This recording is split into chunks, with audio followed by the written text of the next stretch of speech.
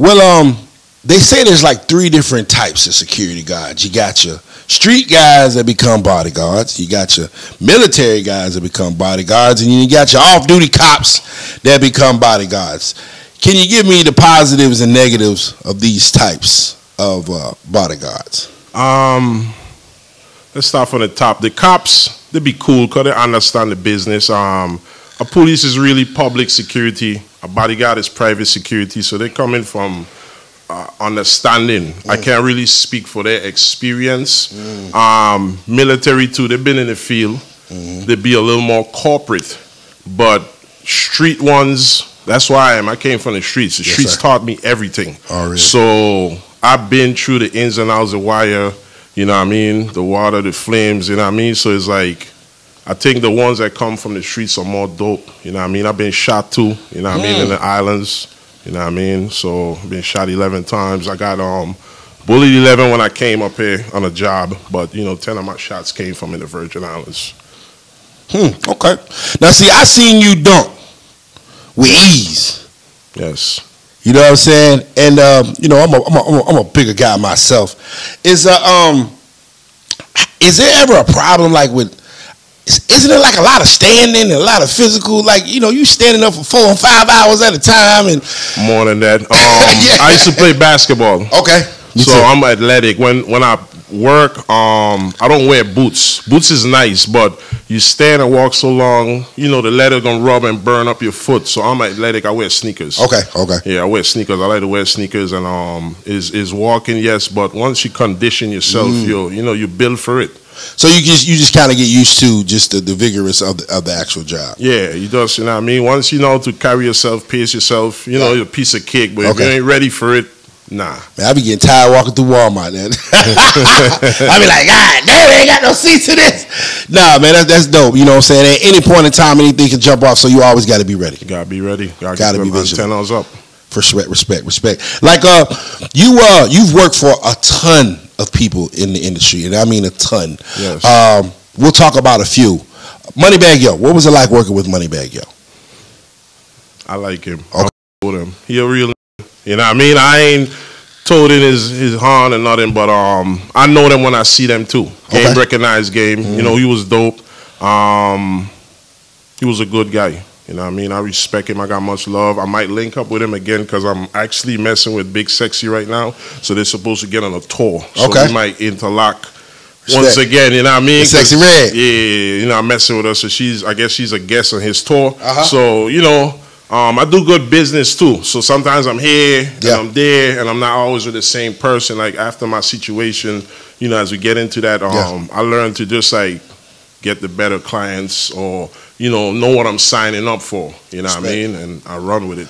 Um, anything that people wouldn't know, because you know you're you're in close quarters with a lot of these celebrities and superstars, right? Yes. And so, like you know, you get to see a behind the scenes look at what we see online or on TV.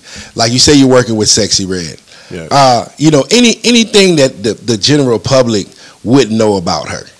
Um, I don't speak too much on the clients. Yeah. You know what I mean? Um, she cool. Yeah. I never, I haven't been with her that long. Fine as hell, boy. Listen, she like every she like you know why I like her, man. We we've had a debate about this on our show, talking about uh Glorilla and Sexyy Red, and Stan gonna talk about he go with Glo- bro. Nah, Sexy, Sexyy Red. is bad, Yeah, bro. Red. She is every hood chick in America.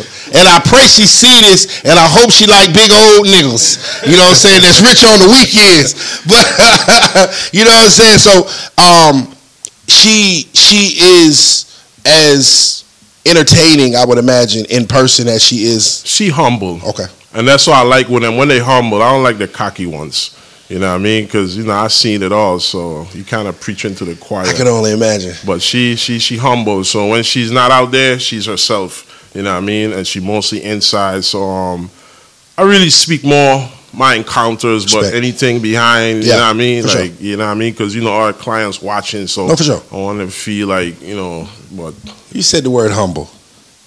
I know another artist that I don't feel is too humble, and maybe maybe you can maybe you can uh, put some light on it. Megan Thee Stallion. Now I ain't gonna cap. I'm not gonna get you in no trouble because I have said on this show several times of my contempt uh, or my displeasure of Megan Thee Stallion's business practices and things of that nature. But that may not be your case. She she cool too. Okay, humble. okay, I dealt with her when she, you know, in Bag and her was all messing around. I used to work for both of them, and then one time she came to the A, and um, one of my guys called me, and I worked for her. But she really um about a business. She Okay. go showtime back to the hotel. You know what I mean? So I like some because some clients drag you. And Mm. the thing about them when they dragging you, the money is not adding up. You know what I mean? Because sometimes they get you from the morning, and then you come in at six o'clock, and then nine o'clock they calling you again to go gym. They want to go to the mall, the barber shop. They want to eat dinner, Wow. studio, club. You know what I mean? So it's like sometimes with me, it's a money like.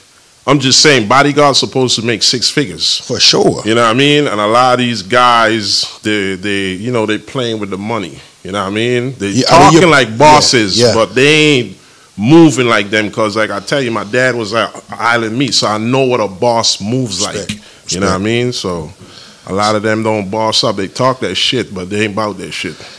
I mean, she, Megan would seem like a type of person that gets smart with folk every now and then. She bad though. I just I, I just give her that. She bad. She humble, and um she cool. You know what I mean? She don't say much. Okay. You know what I mean? And, and, and that's what I like with clients, you know what I mean? They keep it business or, you know, if we graduate into something else, it's still, you know, in a professional level. No respect. You know what I mean? You know, it, because at the end of the day, you're the first line of defense. Exactly. And so if you got a client that got a big mouth and want to pop off and want to act tough because you you there, I mean, have you ever had a client that just gets extremely tough? And not not the client that we'll talk about later on, Yeah. but anybody that gets extremely tough because they know they got security. Because I've seen it happen. Like, bro, you would not have that energy if that 18 foot nigga was not standing right beside you, bro.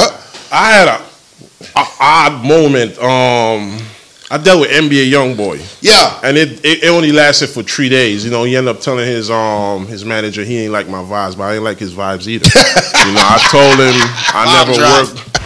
I never worked for a kid before. You know what I mean? Because I run with the gangsters, so I'm not saying he's not gangster, but bro, game recognized game. And if Mm. you can't see my game, you're blind. You know what I mean? I'm not faking like what I do for a living. I'm doing it from the islands. I'm toting guns from the islands. I came America and now I legally tote guns. You know what I mean? So it's like this is no game. Like you know what I mean? So I got no time because I got money. I think I'm tough. Like Yeah. nah, I'm about that shit. Yeah. You know what I mean? But at the same time, on a humble level. You know what I mean? Because sometimes you know who you're fucking with. No respect. You fucking put your hands, excuse my language, you go to club, you beat up El Chapo nephew.